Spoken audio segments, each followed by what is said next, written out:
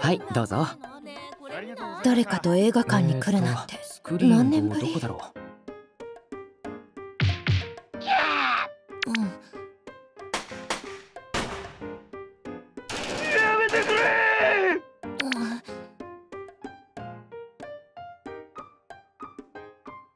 面白かったですね。ございましあ内容全然入ってこなかったな内容全然入ってこなかったんだろうな。の。かわいいって何を思ってんだか。もっと大丈夫？ん。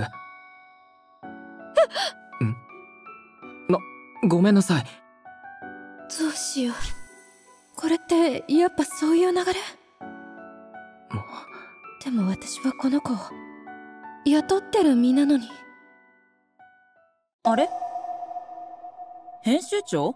あうわ新田さん。こんな時間に珍しい。お疲れ様です。へお疲れ様。そうなの。今映画見てきて。え。ああそちらの方は？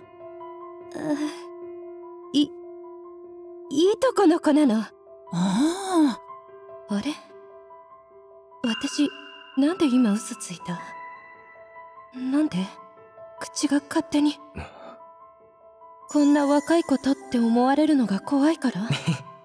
そもそも京介くんとのこの関係って何なんだろう？私が気持ちを向けること自体おかしいんじゃないのかな？なんだ勘違いしちゃった。でも納得。彼氏にしては若いもんね。うん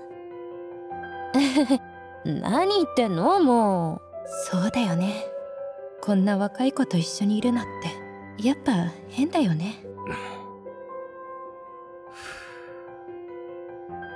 恥ずかしい。何浮かれてたんだろう。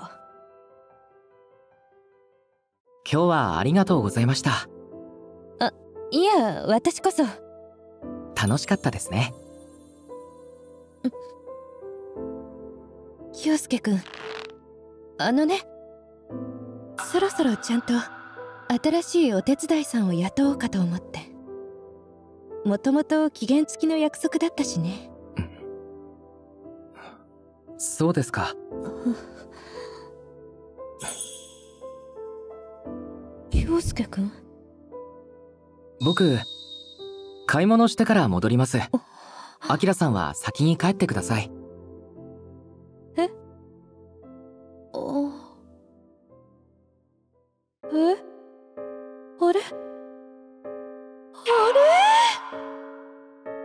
結局後つけちゃった。こんなストーカーじみたことして。私ほんと何やってんの。でも京介くん様子がおかしかった。え？アパート？帰る場所ないって言ってたよね。